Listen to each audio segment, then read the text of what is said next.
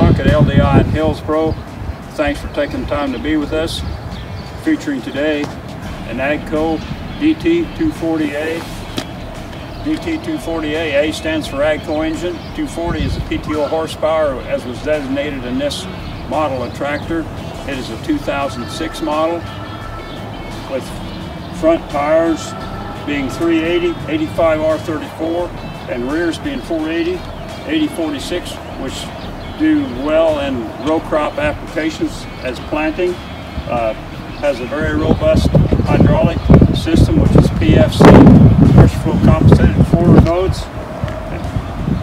For a used high horsepower tractor, it fits the bill well. Full rack of front weights, four rear weights, and is pre-high emission control tractor under 5,000 hours. Again, thanks, Gerald at LDI. Give us a call, 620-947-3182. Thank you.